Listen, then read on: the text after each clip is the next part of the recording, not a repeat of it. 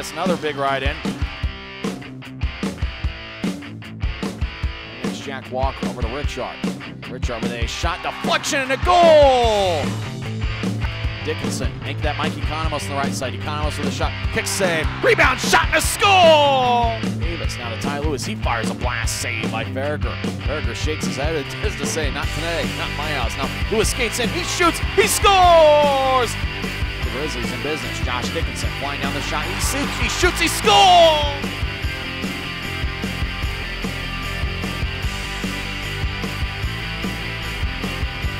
Net, throw a center pass, shot. Oh, it's wide of the mark.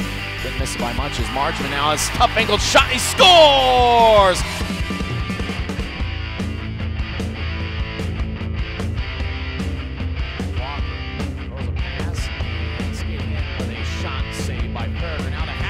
Grizzlies score! Grizzlies kick the extra point. It's now a 7-4 game.